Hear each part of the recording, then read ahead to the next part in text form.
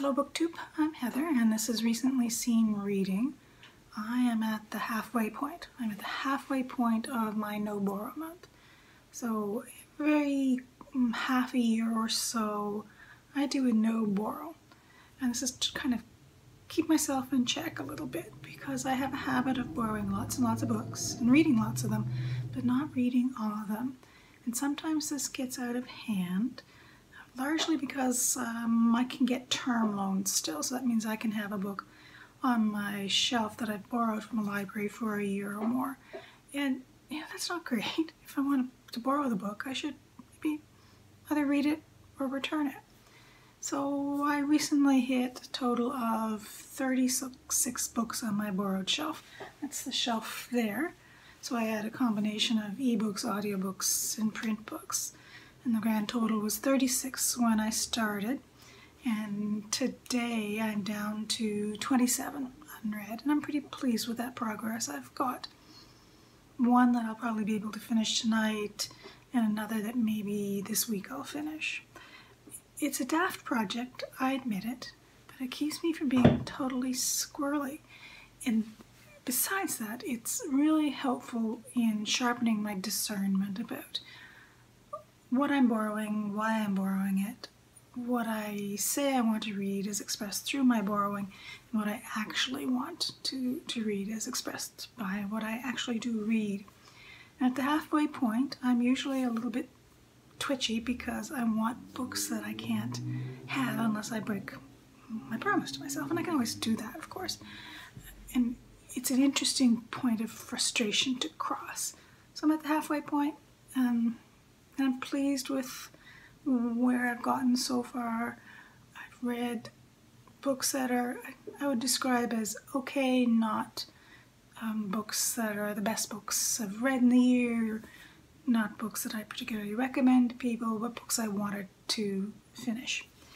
Um, I had one DNF, a book that turned out to be um, a bit of nonfiction that was more rooted in interpretation of literature through a psychoanalytic approach and it just rubbed me the wrong way and I thought, don't need to finish it. So it's, it's going back. Let me just check my list to see what I actually did read. Oh yes, the side effect of not being able to borrow books is that uh, the books I already own become attractive. Not as attractive as I want them to be, but they do become attractive. And so I've read two one was um, Helen Humphrey's Machine Without Horses. This is an okay novel. It's kind of metafiction-ish. Humphreys is a Canadian writer. She lives in Ontario on the Great Lakes. And um, Machine Without Horses is um, broken into two halves.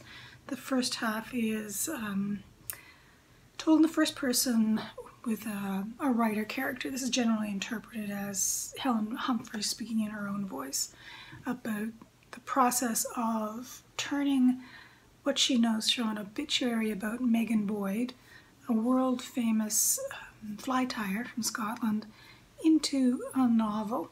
So the first half of the, of the, the book talks about the process the author, the fictional author, who is probably Helen Humphreys, but maybe not, goes through to learn how to tie ties, just to understand the physical mechanics of it, and the, the way she struggles to find how you would develop a story with an overarching plot when so little is known about Boyd.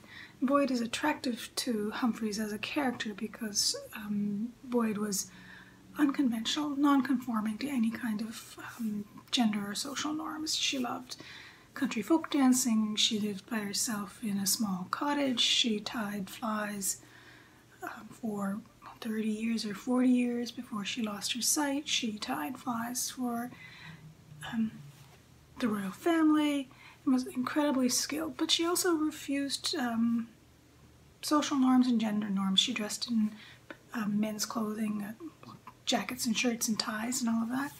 And so in the second half of the novel, or the book, it's hard to know what to call it.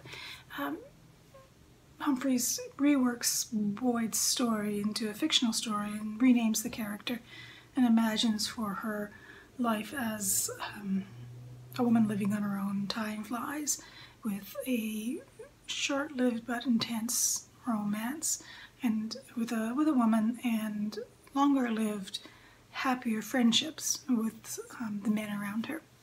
So interesting book. Um, not the best book of the year for me I, by any means, but you know, competent, interesting, not fabulous though. The other one I read um, was another Natalia, Ginzburg, Family Lexicon. I'm reading this as part of um, the reading group that Sarah from Hardcover Hearts organizes.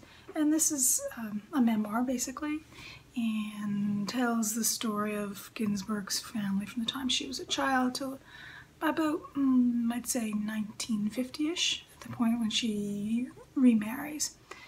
Um, Ginzburg is really good at evoking um, the aftermath of intense experiences. So the aftermath of living through a war, what, what, what that feeling is like. She's very good at that, so I'd recommend it for that reason alone.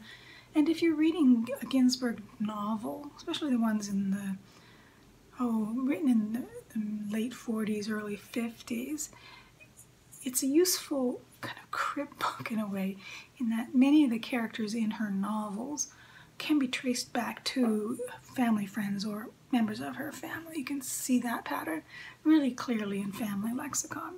So glad to get that one read.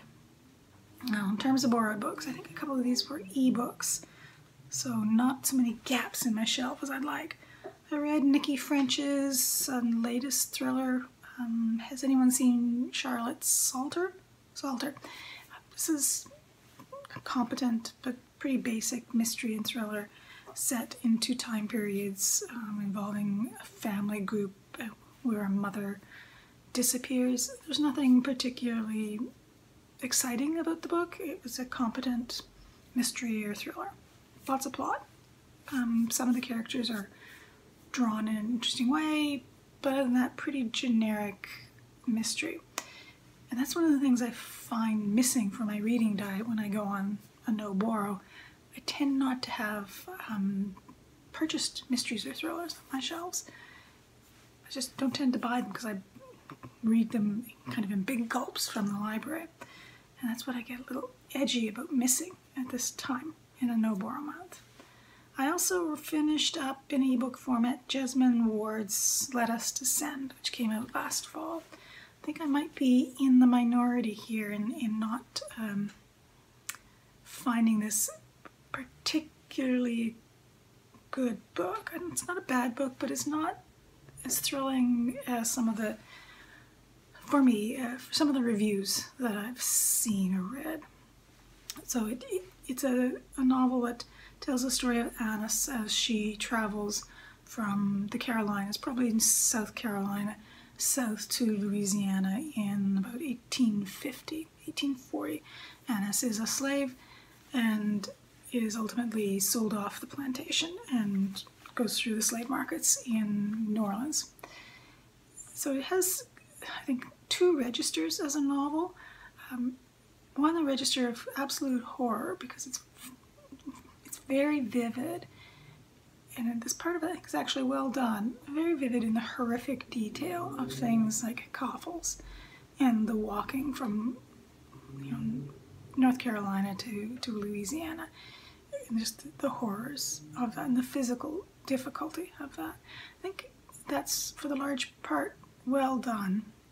Then it has a second register, which is kind of a mystic or a supernatural register when Annis is in contact with various um, spirits or supernatural type um, beings or feelings that keep her connected to her, her mother and her grandmother and potentially great grandmothers, women from Dahomey originally.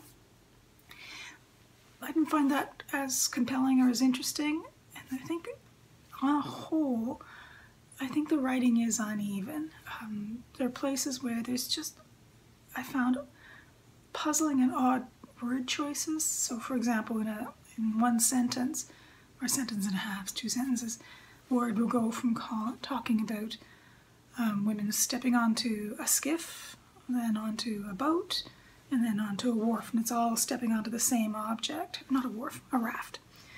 But a skiff, a boat, and a raft are three different floating objects.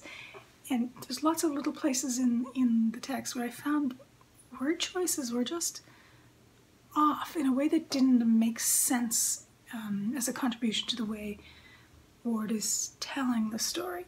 So, on the whole, not a book for me, not as strong a novel as I've seen lots of other people say it is for me. I think in general, Ward may not be a writer that I gel with. Your mileage may vary, of course. What else is going on? Um, that's all I finished since the last update. Four, yes. And I'm in the midst of a couple. Um, I've got, it's just off screen here. Let me just grab it for you. This one, Forbidden Notebook by Alba de Cespedes, who's from the same generation roughly as as Ginzburg, which is why I picked it up. Um, nearly finished. Unsure what I think about it yet. I'm going to wait till I see how it all resolves. Um, I'm reading a book by Denise Gigante called uh, Bookman, Book Madness. It's over here too. It's not, not much to look at, right? It's just a, your standard academic hardbound. Um, this one I'm probably going to shift to reading um, selectively. It's much less compelling a read as um, Daisy Hill's book on Joseph Johnson, which I read a couple months ago. Um, Gigante's writing is uh, is stiff, and she has odd habits in how she uses parenthetical statements to explain things. She over-explains in some places, I think, and she she's clearly trying to write to a, um, an ordinary reader. She refers to the the characters in the book, actual having once lived human beings, as protagonists, and she has this long list of protagonists, but they don't behave in protagonistic ways. She's using the language of fiction, but her prose doesn't carry it off. It's a book about the dispersal of Charles Lamb's library in North America after his death and his sister's death. The books um, traveled the Atlantic and then were dispersed. It wasn't a huge collection, but it was um, an interesting collection of very battered books with lots of um, notes and marginalia from Coleridge and Wordsworth and uh, Lamb himself in them. So bibliographically and print history wise, interesting material. But I don't know that I'm going to read it much more deeply. It's gotten kind of dull. Um, other than that, I'm working through, just started Paule Marshall's Brown Girls, Brownstones, uh, a first novel set in New York um, about Barbadian immigrants to New York in the, the, the 40s and 50s, I think. So that's it for my halfway mark update.